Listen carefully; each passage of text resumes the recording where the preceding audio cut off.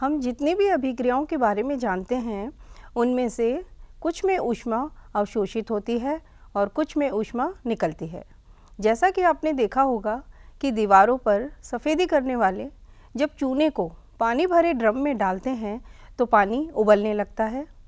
चूने और पानी के बीच रासायनिक अभिक्रिया होती है, जिसमें ऊष्मा निकलती है।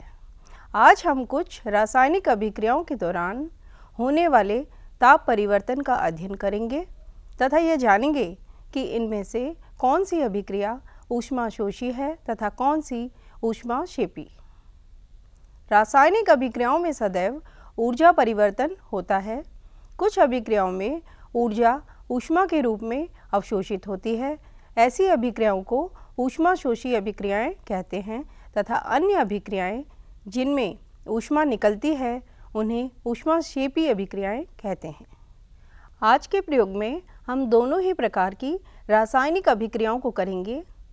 इसके लिए हमें कुछ सामग्री की आवश्यकता होगी, जो इस प्रकार है। चार बीकर 100 मिलीलीटर क्षमता, digital thermometer, minus fifty degree centigrade से 300 डिग्री सेंटीग्रेड, सोडियम हाइड्रोक्साइड जलीय विलयन, वन मोलर, हाइड्रोक्लोरिक अम्ल, वन मोलर, अमोनियम क्लोराइड ठोस बेरियम हाइड्रोक्साइड ठोस, स्पैचुला, कांच की छड़। यहाँ पर हमने पाँच बीकर रखे हुए हैं। पहले बीकर में हमने सोडियम हाइड्रोक्साइड विलियन बना के रखा हुआ है, जिसका हमने 20 मिलीलीटर नाप के रखा हुआ है। बीकर दो, जिसमें हमने हाइड्रोक्लोरिक अम्ल बना के रखा हुआ है 20 मिलीलीटर। बेरियम, तीसरे बीकर में हमने बेरियम हाइड्रोक्साइड लिया है 15 ग्राम। और बीकर चार में हमने अमोनियम क्लोराइड लिया है पाँच ग्राम। बीकर पाँच में हमने आँसू जल लेके रखा हुआ है, जिसकी सहायता से हम थर्मामीटर धोकर रखेंगे। आइए, अब हम पहला प्रयोग शुरू करते हैं। इसके लिए हमने दो बीकर लिए हुए हैं। पहले बीकर में हमने एनएच रखा हुआ है और दूसरे बीकर में हमने एस लिया हुआ है। अब हम इनका तापमान नोट करते हैं। सबसे पहले हम थर्मामीटर लेते हैं और बीकर एक जिसमें हमने सोडियम हाइड्रोक्साइड रखा हुआ है, उसका ताप नोट करते हैं। इसका ताप 26.7 डिग्री सेल्सियस है।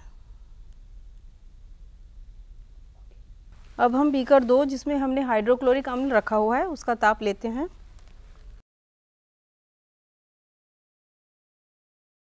बीकर दो जिसमें हमने हाइड्रोक्लोरिक अम्ल लिया था, उसका ताप 26.5 डिग्री सेल्सियस है।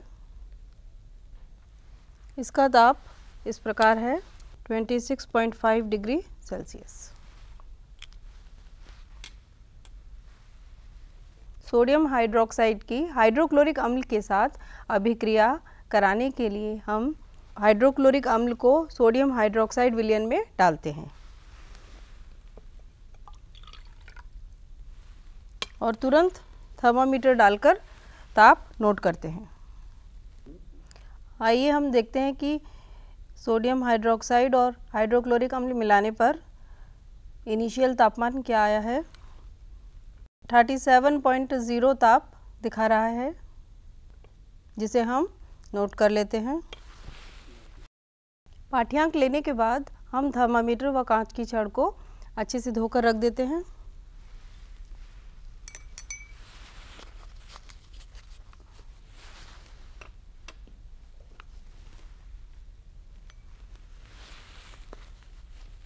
हमने देखा कि एन विलियन का ताप 26.7 डिग्री सेल्सियस आया है और हाइड्रोक्लोरिक अम्ल का ताप 26.5 डिग्री सेल्सियस और अभिक्रिया मिश्रण का ताप 37.0 सेल्सियस। पहली अभिक्रिया का रासायनिक समीकरण एन जमा एस प्राप्त होता है, सोडियम क्लोराइड और जल। जैसा कि हमने देखा कि सोडियम हाइड्रोक्साइड और हाइड्रोक्लोरिक अम्ल की अभिक्रिया में ताप बढ़ता है, अर्थात इस अभिक्रिया में ऊर्जा ऊष्मा के रूप में निकलती है।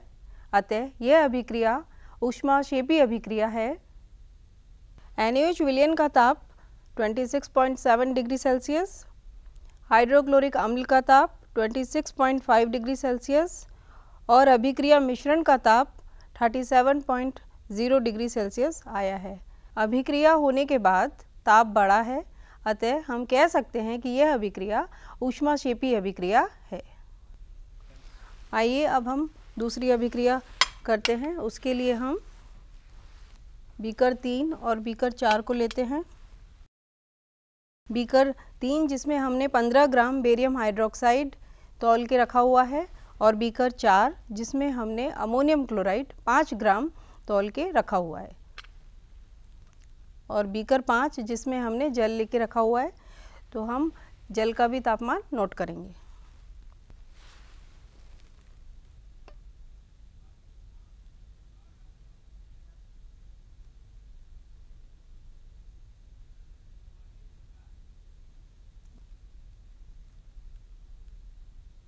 जल का ताप 26.7 डिग्री सेल्सियस है।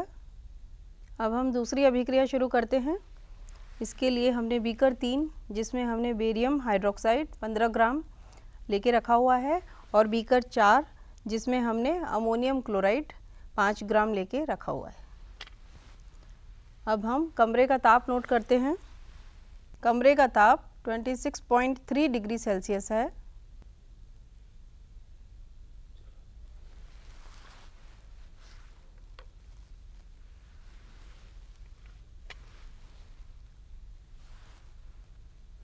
अब हम बीकर तीन, जिसमें हमने बेरियम हाइड्रोक्साइड लिया है, उसका ताप नोट करते हैं।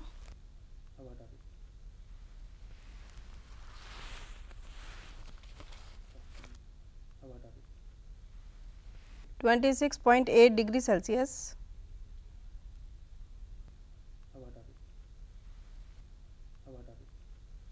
अब हम थर्मामीटर को साफ़ करते हैं। अब हम अमोनियम क्लोराइड का ताप लेते हैं।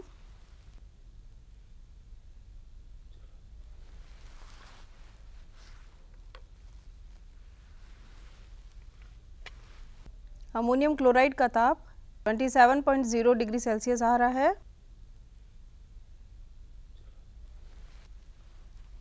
अब हम थर्मामीटर को साफ़ कर लेते हैं। अब हम बीकर तीन जिसमें हमने बेरियम हाइड्रोक्साइड लिया है, उसे हम बीकर चार, जिसमें हमने अमोनियम क्लोराइड लिया हुआ है, उसमें डालते हैं।